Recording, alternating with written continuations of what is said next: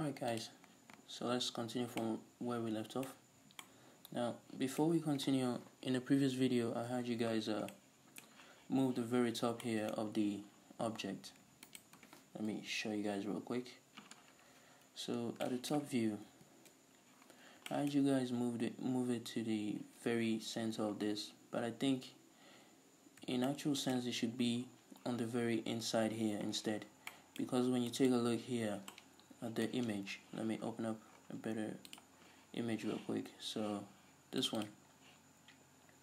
So when you take a look at the image the very end here is where the um, the roof comes out of. So if that end is where the roof comes out of then that is where this part of I mean the lower side of the car the from the roof to the door is where it also comes out of. So it needs to be at the very edge here not in the middle so let's fix that right now. And you already know the drill so we are going to first of all we're going to dissolve the initial ones we added in. So X dissolve edges.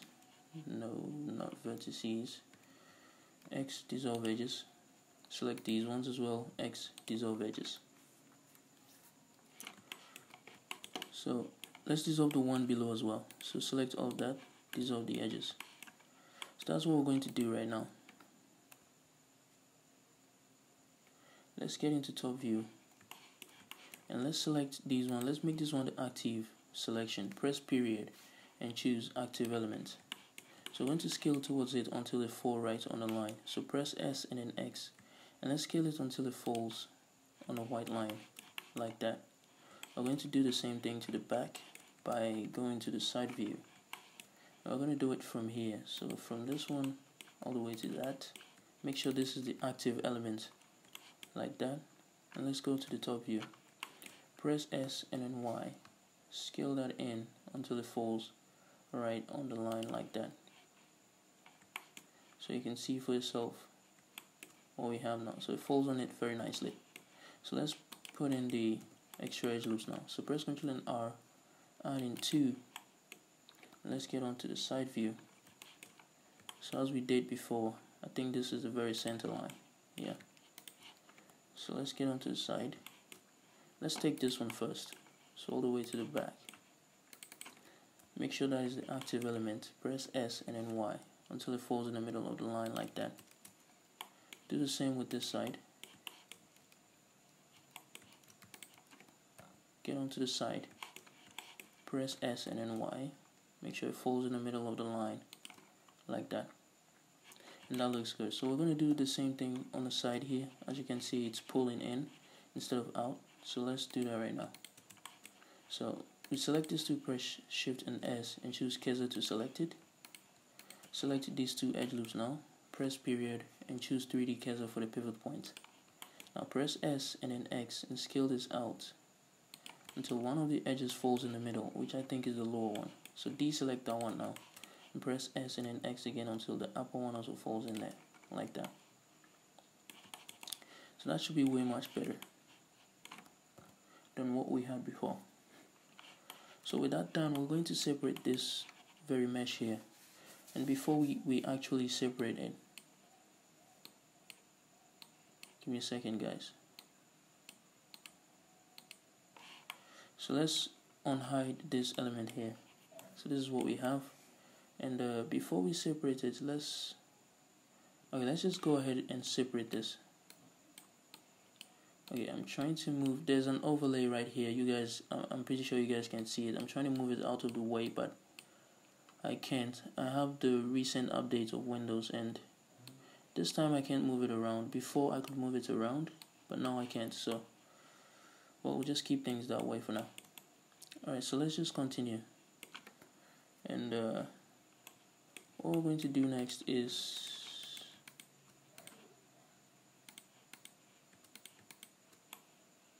alright. So what we're going to do next is to create the very fender here the guide the guide mesh for the fender over here. So the shrink wrap guide mesh for this fender over here that's what we're going to create.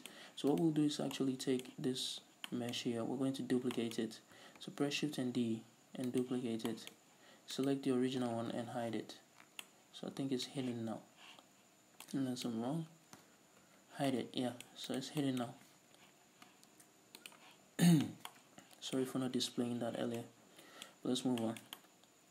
So we're going to use this to create the edge over here. And what we're going to do first is to select the first two edges like this. Control minus and press X and delete those edges. So we're going to select this and move this down until it's very flat like that and we're going to go to the side view. Going to wireframe. Now we're going to delete this very vertex here. Press X and say vertices. Now hover over this one and press L. Press X and delete all of those vertices. We only need this for the fender. So all of those ones aren't as useful. So let's get to the side view. Let's hide this object right here. Let's get to the side view. In wireframe we're going to align this to fall on the line right here. Like that. So let's do that right now so we take each of them. Press period and choose bounding box as the pivot point. So we have that over there. So let's move it there now. Move this down to here. Do the same for the next one. Right here. Do the same here. Move all of them down a little bit below because as you can see there's a gap underneath it. So we need to show that gap as well so just move things down a little bit from the blueprint line above. Like that. This one will go up. The same as this. Like that.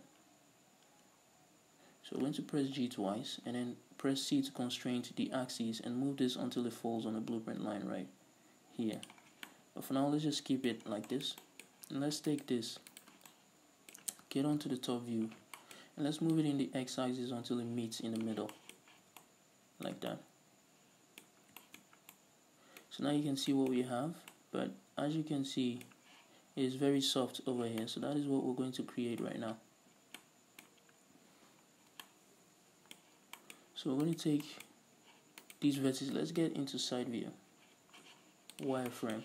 I'm going to take the vertex from this very edge here the one below this first vertex get to side view and move on to the very top here and select I'm pretty sure maybe maybe this one? Yeah. So let's use that one first. Press G twice slide it down like that and deselect this. Deselect this. Press G twice slide the next one down. Deselect this slide it down and let's leave it there for now yeah that is good for now. So select the innermost edge loop. First let's put one in the middle of them like that. Select the inner ones press X and dissolve those edges very nicely like that. So that is looking good already. So let's select the one above now and do the same as we did at the bottom at the bottom of it to the top. So deselect this one. Press G twice slide no do we need to? No we don't need to. So deselect that one press G twice slide this away a little bit. Slide this one away a little bit. And we do that one more time and keep it there. So you can see what we have now and that is looking good. So let's change the MatCap so we can see this even better. I'm going to change it to the silver one like that. And you can see it looks almost like this I mean it, it looks almost like it. That is good. If we need to change anything we can do that later.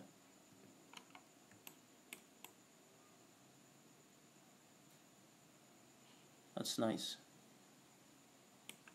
So I think that is good enough but I want to do one more thing.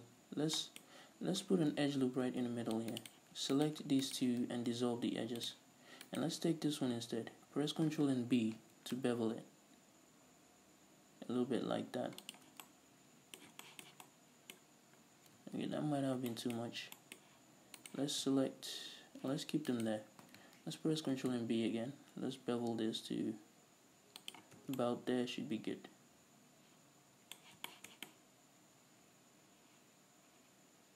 Yeah so this is good enough. We're going to keep it that way. Now let's get to the side view and make sure this falls right above that area. And to ensure that we're going to go to the top view going to wireframe and we're going to cut this along the very edge here a little bit inside it to the top so that we can make sure this falls right underneath the hood. So here's what we're going to do. We're going to press K and we're going to hit the knife. Cut this all the way from here to about here and then press C to constrain the axis and we cut that all the way to the back. Press enter to confirm it now we select this edge here. Let's get onto the side. I'm going to make sure that aligns itself more with the hood up here. That is what we're going to do right now. So press Ctrl and I to invert the selection and press H to hide it. So this is it we have right here. So that is what we're going to do right now. So I think the quickest way to do that is to select this vertex and move all the way down here and select this one.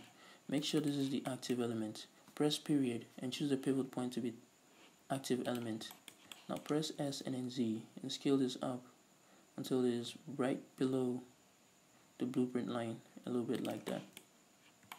And I'm going to select this move this up a little bit. Select this one as well and move this up a little bit.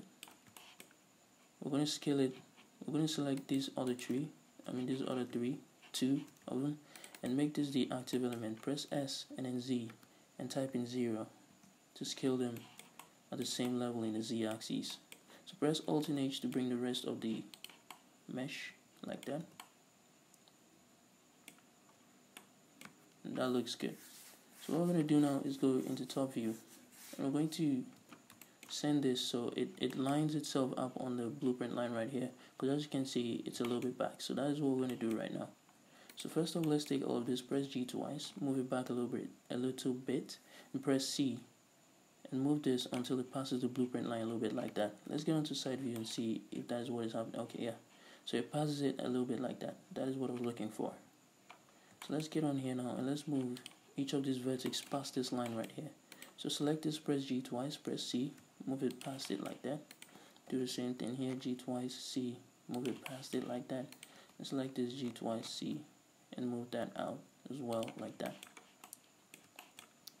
So that is looking good but that increases the spaces. You can see this side is bigger and then the rest are smaller like that. So we're going to correct that right now.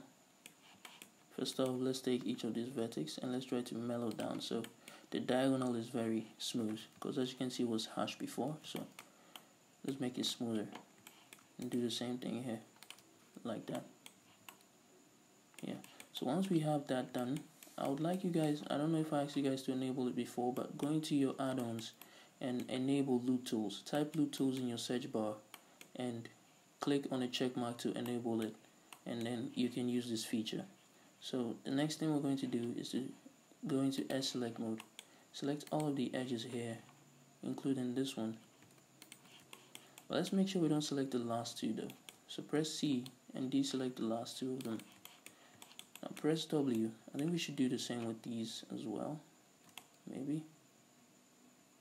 Yeah let's do the same with them. These two. And of course besides the last one. Now press W. Go to loop tools and choose space.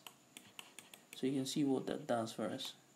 And I think we have to do it all the way down. So let's select them all the way down. And the last two of course we don't need to do it to them.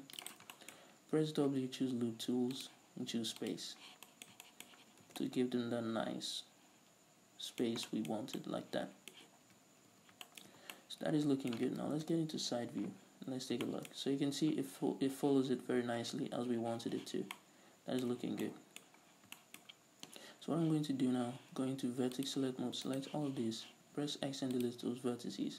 Now we'll select this new one here, press E and then X and extrude that in instead. So that is looking good right now. Let's get into top view. Yeah. So that is good. We'll just take this one, press G twice and then C, move that out a little bit like that. Skip back into solid, select it all the way back to this, press W, choose loop tools and choose space. So this is for the fenders.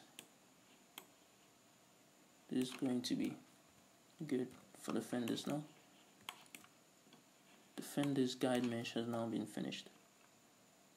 Let me get into wireframe, check a little things, and yeah.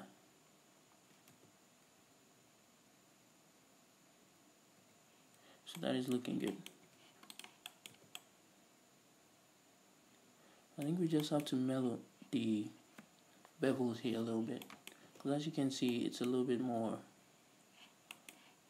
too tight. So let's try to do that right now. I'm just going to press Ctrl and R3 here. Move that up a little bit to about there. And let's deselect let's deselect this let's deselect this vertex right here. Press X and dissolve the rest of the edges like that. So what we're going to do now is to take this and about this one right here and press J to join them like that now what we're going to do is to select the very last one we joined it to. Move to the front and hold down control and click on the one right above the one that we just added in. Like this press X and dissolve that edge. So you can see that mellows it out a little bit more. I think that looks a little bit better. Yeah but we just have to do it again on this side. So move that in to about here deselect the very first vertex press X dissolve edges now take this one and the very one over here and press J to join them. Once you're done, select the one we joined it to, select the very first one next to it, press X and dissolve edges. So now that looks more like what we have in the reference photo. Except now it might be a little bit too harsh, so we're going to select everything besides the very last two over here. And we'll press G twice and move that in a little bit more like that.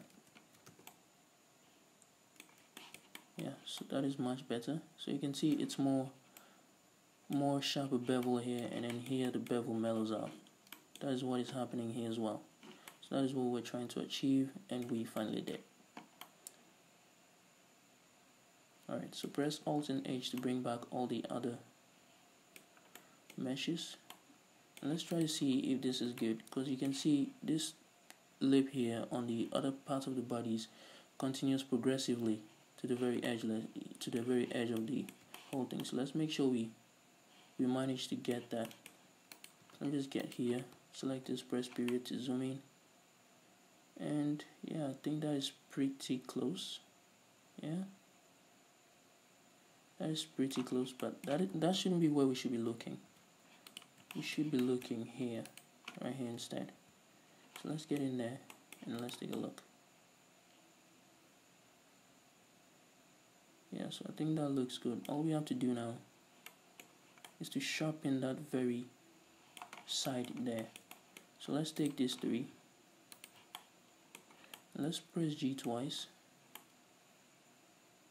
Let's press G twice and move it a little bit more closer. Like that.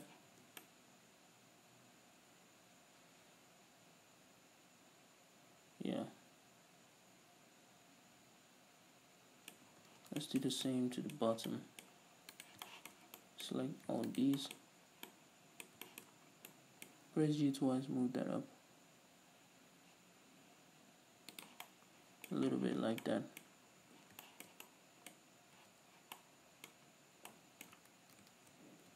slide it down a little bit more.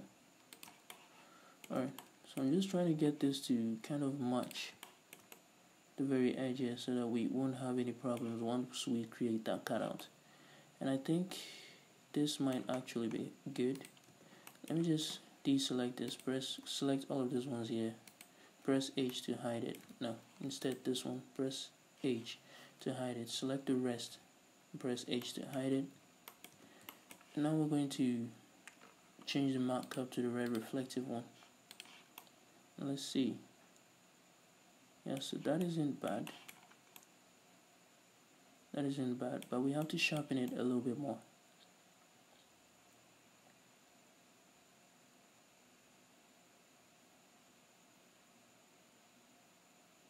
That is good. So I think we'll keep it for now. We'll keep it for now and I'll end the video here and we'll fix it better in the next video